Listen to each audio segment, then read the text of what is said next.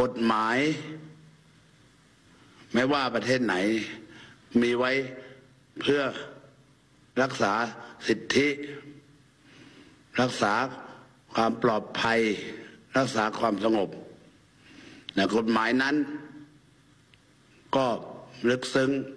ใช้ให้ดีก็ดี แปลความให้ดีก็ดี ใช้ไม่ดีหรือหาช่องโหว่ในทางในการปฏิบัติ ต่างๆ มันก็ไม่ดี มันเป็นเรื่องละเอียดอ่อน เป็นทั้งศาสตร์ เป็นทั้งศิลป์เรื่องกระบวนการยุติธรรมเนี่ย แต่ถ้าตรหนักถึงความถูกต้อง หรือพูดง่ายๆ ความสุขของส่วนรวม ความสงบสุขและความ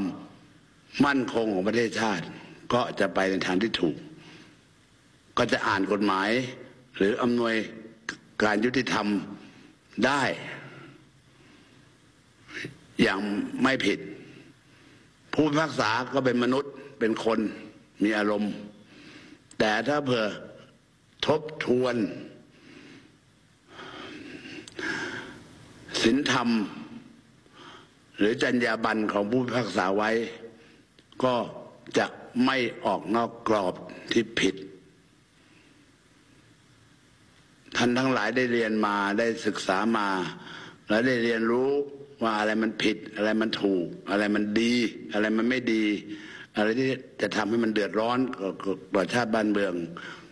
ก็คงจะไปรู้แล้วว่าอะไรไปไปในทางที่ถูกไม่ถูก ก็ขอให้มีสติมีปัญญา มีทัศนคติที่ถูกต้อง และอำนวยความยุติธรรมให้แก่ประชาชน ก็จะเป็นสิริมงคลกับตนเอง ก็ขอให้มีความสุขความเจริญโดยทั่วกัน